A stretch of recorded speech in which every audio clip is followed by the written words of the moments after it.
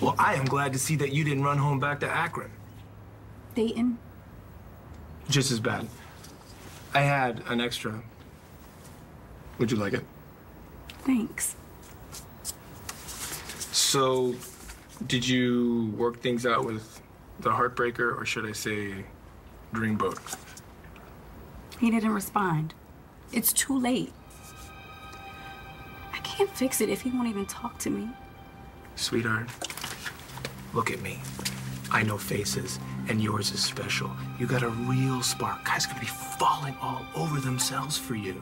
Starting when? The minute you forget about some jerk who was stupid enough to dump you. What? James didn't dump me. It wasn't. You don't understand. You can't. Hey, whatever. I look. I'm sorry. I'm I just know. trying to. Thanks for the coffee, but just leave me alone, okay?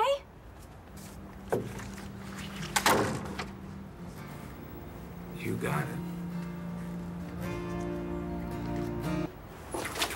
Hey, hey, hey, hey. Look, I am really sorry if I tipped you off before. Forget it. And by the way, you were wrong. Yeah? The guy sounds complicated. I meant about me. I can't have any guy in the world. Maybe if my name was Starr. That's a good name. So wait, so that's it? I mean, some jerk turns you down and you're just gonna, your, your life's over, you're just gonna take off.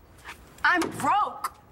Even if I went home, what's for me there? And I can't afford to stay here. Sure you can. I can help you with that. Your name might not be Starr, but I can make you a star.